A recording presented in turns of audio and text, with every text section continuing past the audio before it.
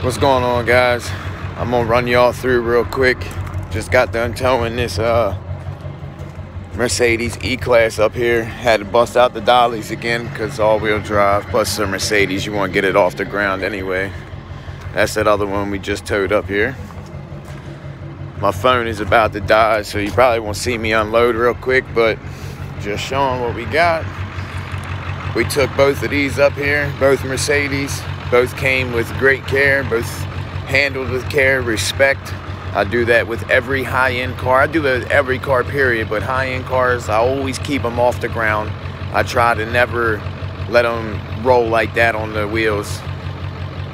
Unless they're like an older model or something, unless it's like really classic or something, then it's always off the ground. But this is what we did. We towed it back up here to the Mercedes BMW shop. So I'm gonna get it unloaded and uh, get on to the next. Let's go.